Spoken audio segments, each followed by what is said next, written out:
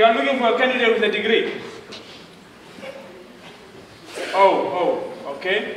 What? A thousand dollars? Seriously? You come from a rich family and you are offering me a thousand dollars? At least make it a fourteen thousand dollars.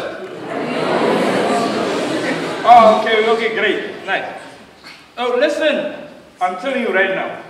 You really think that people in India are prospering are prospering by doing that in the right manner? No, my brother, you are mistaken, I'm telling you. They are doing so in a corrupt manner. Ah. Oh, now we are on the same boat. Yeah.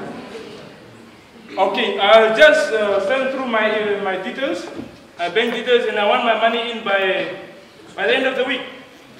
Okay?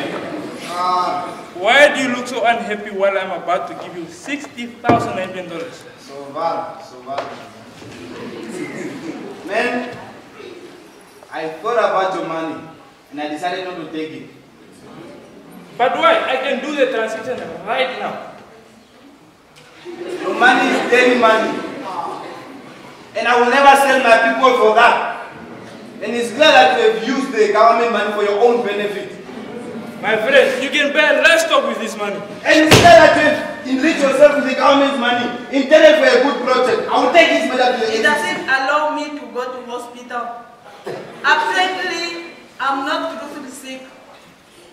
If I work overtime, he doesn't pay me for it. Corruption is an attack on moral values. Government may end up spending large amount of money on unnecessary projects only because certain politicians and officials benefit from it. And thus of the efficiency of the economic system breaks down instead of the best business becoming winners. And those that are on top are not there because of their moral capabilities, but because they have bribed to get there. Stop corruption. Stop protecting